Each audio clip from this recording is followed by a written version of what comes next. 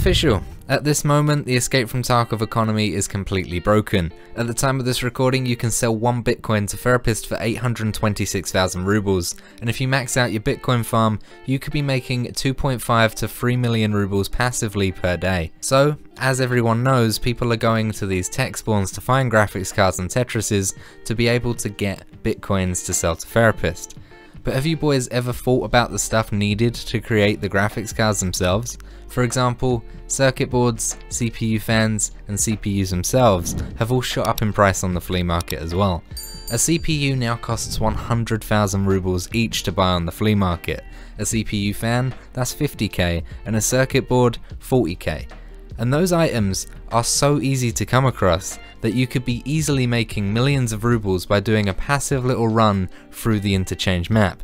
And that's exactly what I'm going to be showing you today. There's a few locations that I always rat up when I'm going into the interchange map because I know that I could be making hundreds of thousands of rubles in a matter of seconds just by looting PCs and tech spawns. So join me as I show you how to break the Tarkov economy a little bit more. Firstly, if you're in the interchange mall and you don't mind a little bit of PvP, then going to the tech stores is a perfect way to find these hard to get items like graphics cards, CPUs, etc. You could do this run either starting from Oli side and working your way to Idea side, or the other way around depending on where you spawn. So our first spawn is just inside of the Oli location, you're going to want to go in the front door of Oli, head up the stairs into the main Oli area and you'll see to your left hand side an opening that goes to the main shopping mall area. Go over into the left and you'll see a store straight ahead of you to your left hand side, Texco. We're going to go into Texco because that's our first tech store that we can loot. You're going to want to check everywhere, so these wooden crates at the front, the tumble dryer here, and you're going to want to check every shelf because you'll be able to find stuff like circuit boards, CPUs, and CPU fans all over the place.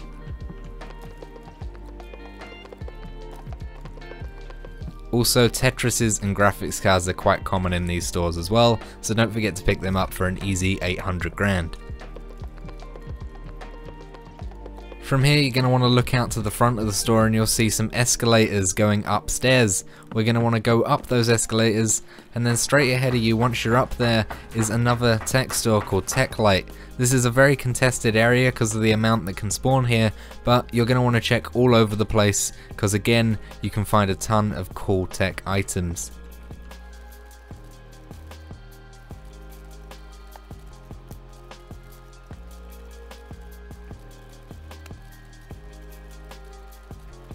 Once you've finished looting Techlight, go back down the stairs the way you came, and then once you head down the stairs, you're going to want to take a left. You're going in towards the center of the store now, and straight ahead of you, you'll see a store called Rasmussen. This is our next tech location. You're going to want to go in, check all of the tables in the center as well as the shelves around the outside as you can find good tech items. Not only just like graphics cards and all circuit boards, but you can find 1G phones and all that sort of stuff in here, as well as Tetrises as well. Make sure you check behind the desk at the very front of the store as well, as tech items can spawn on that too.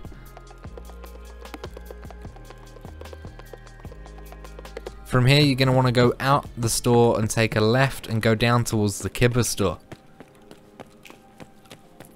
You're going to want to keep running and go past the Kiba store, keeping the Kiba store to your right. And then straight ahead of you, you'll see a store called German. German is another tech location that you can loot.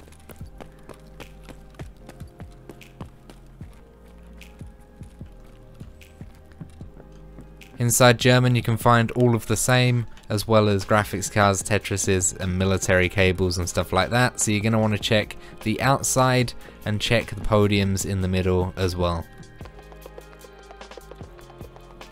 Once you check this location, go out and take a right, and then down in this octagon area, straight ahead of you, to your left, you'll see a store, TTS. TTS is our final tech store location, and you can loot this to find a load of tech items. You'll see a bunch of wooden countertops here.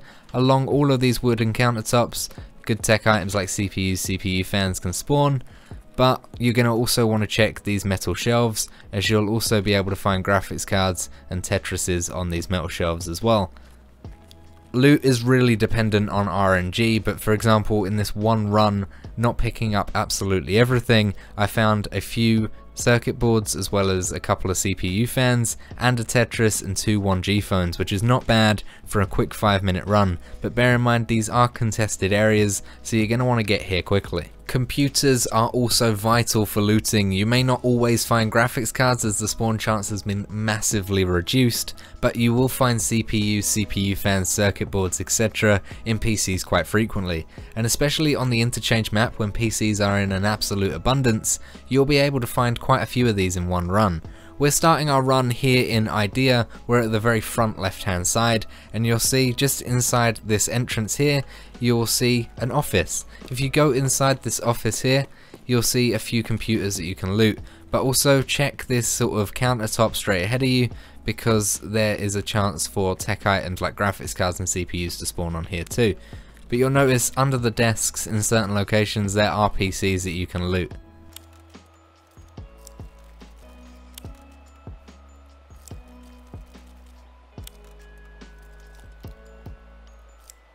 Once you've finished looting the computers in this office area, come to the back where these piles of boxes are, as you can also find tech items sometimes in the place of this drill here.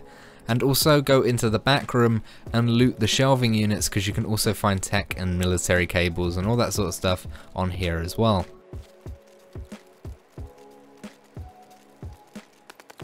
Once you go out of these offices, you're going to then want to head towards the center of the mall again.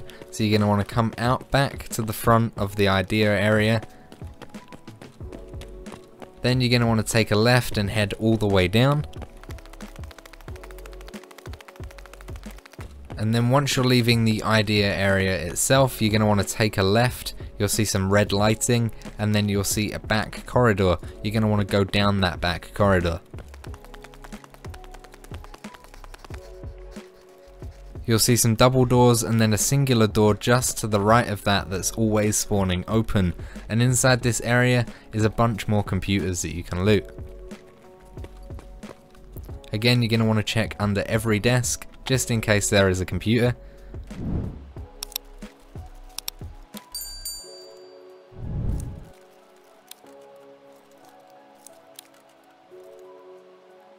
And then once you've looted all the computers in this main office area as well, you're going to want to see where the yellow couch is and just to the left of that yellow couch is a closed door. Make sure you check the computer inside of this room as well. Now you've finished looting this office, you're going to want to come out of the closed door and then you're going to find a box and behind the box the double doors that lead into the Goshan area. Go through and all the way to the other end past the cafe you'll see another set of double doors.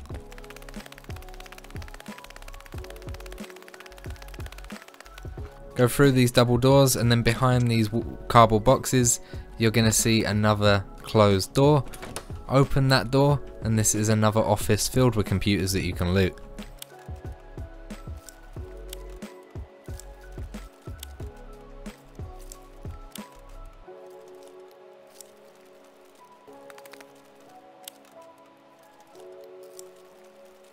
Another thing you can do is go into the side office as well and if the power is turned on you can always flip this little panel here and disable the alarms because let's all face it they're fucking annoying aren't they? And then once you're done here come out of the side room and go out of the open door to the left and then take a left continue following this corridor and it'll lead you out towards Texco where we started our little adventure in the interchange map.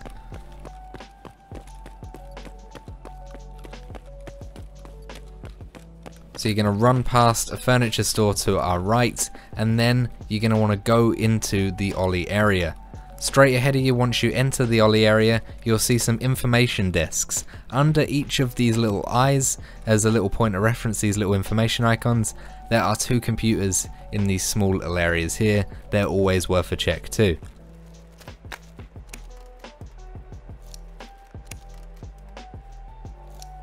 There's one also further back in the store. You're basically going to want to hunt all of these eye icons down.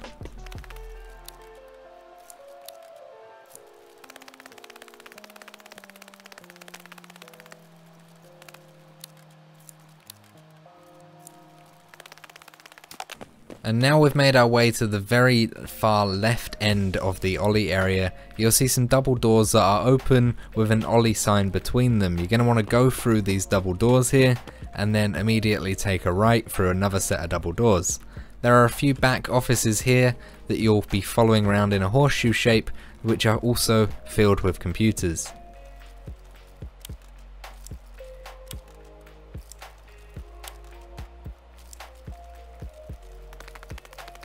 When you're following it around, bear in mind there is one door that is not accessible, but you're going to want to keep following it around because there's three offices in here in total in which you can loot.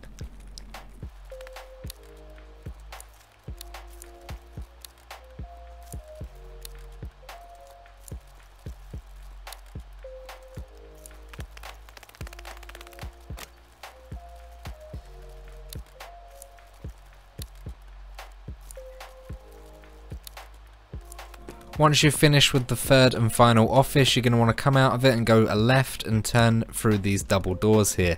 Then take a left and you'll be out back into the Oli area.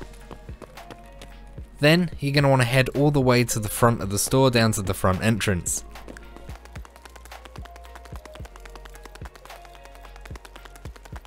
And before you go down the escalators to the actual front entrance itself, you'll see some more small offices inside of the Oli area. You're going to want to go inside of these doors and loot these offices because more computers are in this area.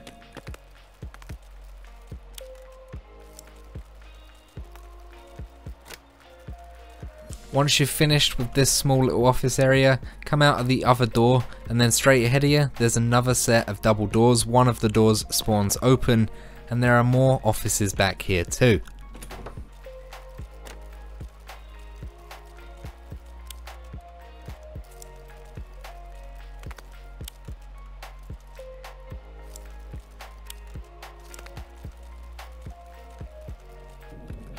Once you've finished with that set of offices, you'll also be able to go back into the Oli area and extract, especially if you came from the railway side and the idea side, you'll be able to go all the way to Emercom checkpoint and extract nice and easily. But you can also do this run in reverse and end at the idea side and you would have looted tons of PCs. A couple of things that I've learnt from doing this run one, I really should have brought a backpack, and two, just from looting computers we made 1.5 million rubles. Just from that there. All of those CPU fans, those few CPUs, and those circuit boards. 1.5 mil. Insane, right? And that is just by ratting around, and a lot of the time you won't see people in those back offices, so you'll be fine. Add the loot that we got from the tech stores just now, easily over 2 million, 3 million. Just from this one interchange run. Insane money can be made through looting tech now. And like I said earlier, it's not just graphics cards and Tetrises that you're going to want to look out for, it's all of these items too. And this is just interchange. Of course, there's computers over every other map as well, and you can also go reserve and find tons of different loot items. However, interchange is a very, very good map. In fact, probably the best map for finding tech items like this. And whether you want to sell them and make a quick bit of cash, or keep all of these items and make some graphics cards in the hideout, you'll be making a large amount of profit. Working on your Bitcoin farm while doing these runs is the best way and most efficient way to make money. Forget about looting geared chads. This is the way to do it. No matter what, rats always win. And I hate that terminology, rats and chads. But it's what everyone understands. You need money to be able to run kits that you enjoy. How you get that money is up to you. But this is definitely, at the time of this recording and with the way the economy is, the most efficient way to make money inside of Escape from Tarkov. Point blank, the best way. If you guys have any other maps that you like going to, to find tech items like this, then let me know down below in the comments. But Interchange is by far my favourite. Not because I love Interchange in general, but I do. It's also because it's just a really, really good map. Everything's condensed, there's tons of computers, there's several tech stores, and yeah, sure, you may be fighting off people when you're going through this map because everyone is looking for graphics cards. if you're doing the rat runs through the back alleys and looting all the computers, you'll be making millions so easily. And with that being said guys, let me know down below in the comments whether you enjoy this sort of strat, whether you think the economy needs to be fixed, or whether you have any different ways of making money. I want to hear it all. But thank you so much for watching guys, I appreciate your time, and I'll see you in the next one, yeah? Let's uh, let's ruin Tarkov's economy until they fix it. I love you. If any of you guys are interested in playing demanding games like Tarkov but are struggling with the performance, why not check out Shadow? Shadow is a cloud gaming subscription service that allows you to access a Windows desktop client with the top of the range hardware located at your nearest data center. Shadow is a service that I still use all the time. Anytime I'm out of the office and need to edit a video or record some footage, Shadow is perfect. They're a company that I really enjoy working with and they're ideal for anyone who travels a lot or just someone that can't afford a super high powered PC. Shadow's got many people covered as long as you've got a relatively decent internet connection. If you wanted to check Shadow out then there's a link below that you can go and do your research and find out more about their services. And if you do decide to subscribe to Shadow then you can use my code SAMOSH and you'll save yourself some money which is always worthwhile. I'd like to thank you once again for making it to this point in this video. I love you guys and I'll see you in the next video.